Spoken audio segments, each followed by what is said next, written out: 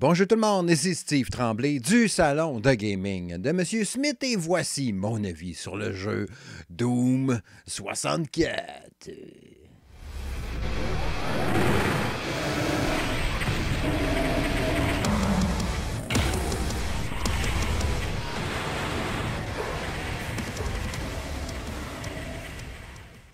Lancé à l'origine en 1997 sur la console Nintendo 64, Doom 64, hein, oui, oh, oh, oh, surprise, oui, était la suite de Doom 2 euh, lancée précédemment. Donc, c'est une vraie suite chronologique dans l'histoire de Doom, où ce qu'on va, oui, sans surprise, être le, Doom Guy qui va aller éclater un paquet de bébites saugrenues, n'est-ce pas? Le U avec la petite barre en dessous. Ouais, des bébites de l'enfer, des trucs démoniaques, ben, ben épeurants, supposément. C'est sûr que dans le temps, c'était plus stressant un peu quand tu jouais à ça, il 23 ans. Aujourd'hui, tu fais des sauts. Quand même, hein, pour un jeu de ce temps-là, dans ce visuel-là, tu fais encore des sauts aujourd'hui, OK? D'ailleurs, je me suis amusé à fouiller un peu. Vous savez, des fois, j'aime ça partager sur le salon de gaming de M. Smith, n'est-ce pas? Des vieux souvenirs hein, de moi. Puis j'ai regardé dans mes revues. Puis euh, j'ai pas réussi à retrouver. Je, je l'avais, le magazine à l'époque, qui avait l'Electronic Gaming Monthly qui montrait, mettons, euh, le spécial Doom 64. Je ne l'ai pas retrouvé dans mes revues, je l'ai peut-être plus.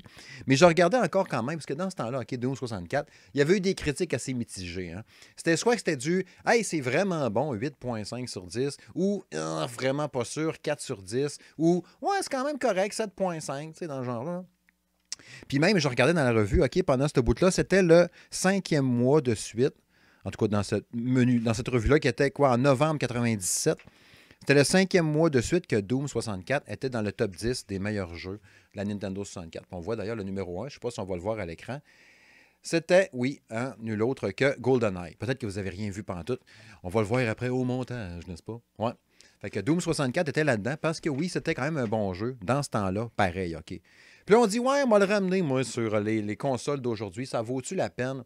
Ben oui, OK. C'était un jeu correct dans ce temps-là, mais avec la technologie d'aujourd'hui, pour améliorer cette expérience-là, ben là, c'est vraiment la totale. La gang de Night Dive Studios qui ont euh, peaufiné le portage de tout ça, l'ont remasterisé, n'est-ce pas? L'ont rendu super fluide. Puis tout. En fait, ils n'ont pas touché vraiment au jeu.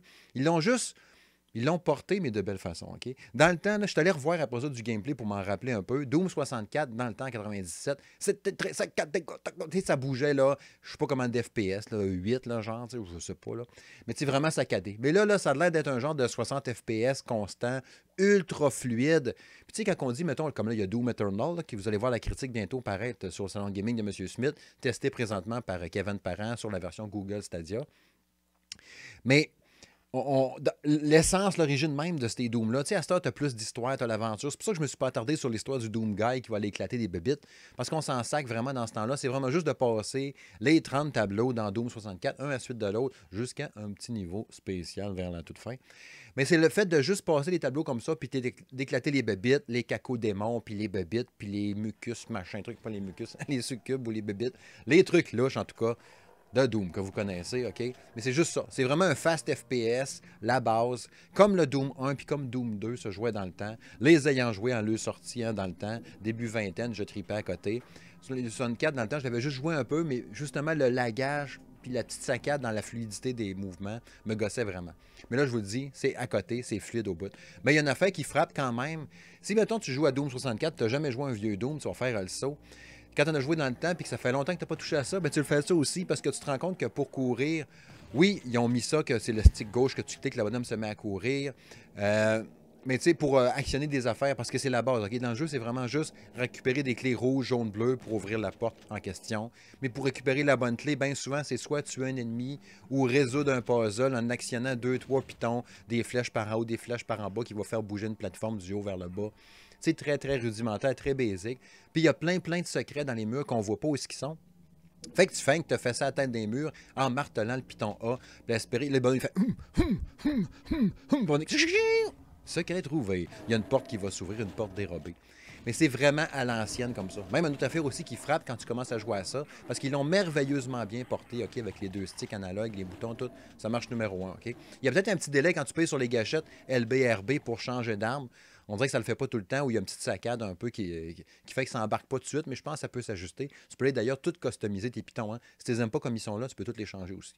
Ça, c'est vraiment hot. Il y a plein, plein d'options pour personnaliser l'expérience. On dirait la version totale, ultime de tout ce que tu voulais faire dedans là, pour qu'il marche super bien. Mais tout est dedans. OK? C'est vraiment hot. Pas censuré, full violent, badass, puis tout. C'est malade.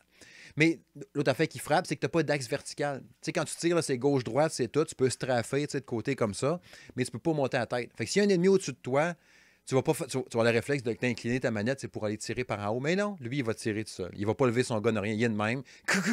Mais la balle va aller fesser en haut. Dans ce temps-là, OK, on se cassait pas la tête. Tu tirais, puis quelle que soit la direction, ça allait le toucher quand même. C'est sûr, faut que tu vises pareil dans gauche-droite.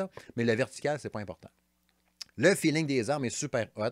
Le shotgun est le fun, mais le shotgun avec double canon, là, le, le, deux canons sciés, là, toujours aussi satisfaisant. Le minigun, le lance-roquette qui fait un peu cheap, par exemple, aujourd'hui, mais très efficace quand même. Le pistolet, la, la, la scie mécanique à deux lames.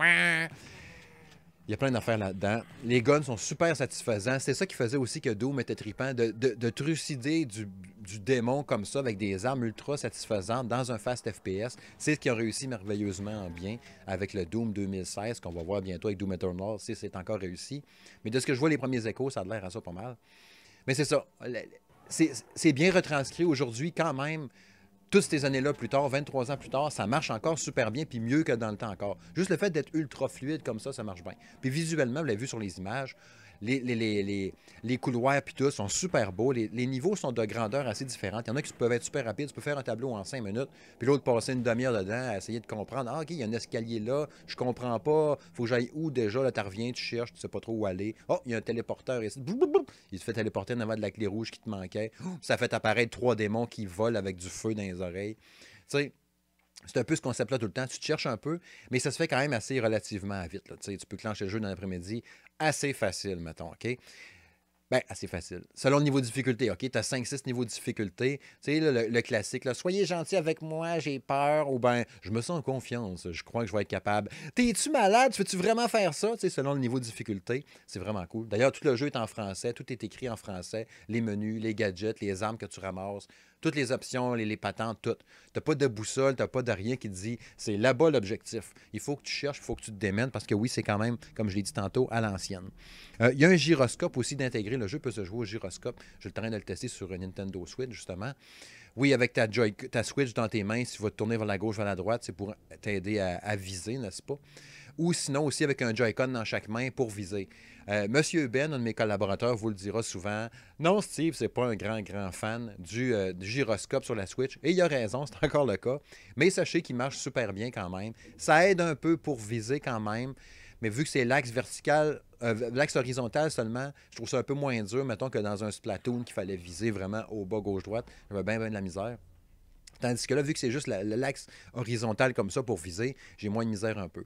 Mais je préfère encore quand même jouer à la bonne vieille manette, soit avec ma, ma, Switch Pro dans mes mains, sa télé.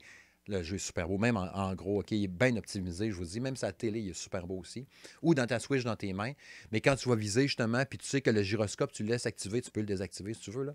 Mais moi, je le joue euh, en combo, à la manette normale, mais le, gyroscope activé quand même. Fait quand que je vise, je peux pardonner un peu en, tournant un petit affaire de plus ma Switch physiquement dans mes mains ou ma, Switch Pro, ma manette Pro.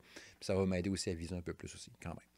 Euh, les effets sonores sont très réussis, les sons des bébites, les canons, tout. Ça donnerait des leçons à des jeux d'aujourd'hui que les bruits, des fois, sont un peu décalés ou pas synchro ou quelque chose. Ben, dans lui, il marche. Puis comme je vous disais, les, il y a même des jumpscares un peu pas ben, ben on s'entend, ça reste un, vieux jeu à l'ancienne, mais genre, un fuck, il y a une bébite Tu sais, quand je disais tantôt les niveaux de difficulté, là, quand tu joues à facile, c'est vraiment facile. Les ennemis, si tu tout en une, deux, trois coups, là, mais plus ça va, pire c'est si tu montes un niveau de difficulté, bien évidemment. Tu vas avoir moins de rations, moins de. Tu sais, le classique, là, ta bouclier, ta vie, tes balles, faut que tu ramasses tout. Mais c'est ça. Fait que si tu joues à un niveau infernal, on s'entend que c'est super dur, fait que tu vas en baver de passer les 30 niveaux. Mais tu sais ce que je vous dirais au pire?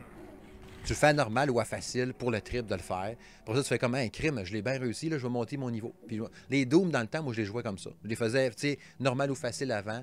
Pour ça, je le refaisais pour voir si j'étais capable encore d'aller aussi loin puis de le faire. Puis là, ce qui est cool en plus, oui, quand tu finis un tableau, tu as ton, ton, euh, ton code que tu vas rentrer le A, B, 8, 2, F, frit, pour recommencer au tableau où tu étais rendu. Mais version comme ça, portage, puis tout. Je me rappelle pas dans le temps s'il y avait une sauvegarde de même. Mais dans lui, en tout cas, tu as 10 10 euh, save slots, là, que tu peux sauvegarder ta partie à tout moment, n'importe où dans le tableau. Si tu, quand tu meurs, tu ne fais pas charger ta partie, tu vas recommencer au début du tableau. Mais si tu fais charger ta partie, tu vas reprendre vraiment, toc, à la place que tu étais en avant de la porte, quelque chose. Le système de sauvegarde manuel, il est à côté, il est vraiment hot, marche numéro un, vraiment, vraiment ça coche.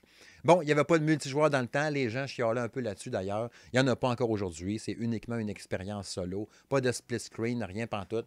Ça se joue en tout seul pour le fun, mais regarde, 6 et 49 pour jouer à un classique de la Nintendo 64 comme ça, mais amené de si belle façon en 2020, d'un rendu aussi propre, d'une ambiance sonore qui marche aussi bien, traduit en français, euh, avec un paquet de trucs pour personnaliser ton expérience qui fait que tu te sens confortable, manette en main, puis que ça marche numéro un.